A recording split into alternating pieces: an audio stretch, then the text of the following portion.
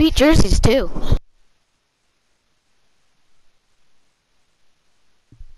So Russell Wilson dives, then he fumbles it, bounces off the one yard line, and then Tyler Lockett comes in and picks it up for the TD. What a move. Let's go.